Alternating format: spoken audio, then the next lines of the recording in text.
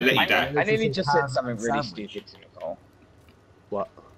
So she said she's she's got like uh she said that she's got like a, a pain, and Yeah. um, I said I almost said is it a bad pain? There's no such thing as a good pain. A Bad pain. There's Is it no not so good? thing as a good- Oh, that's a claymore. Welcome to claymore country. Flipping. Why, why you scared? Ah! Yeah. Just run. Just run.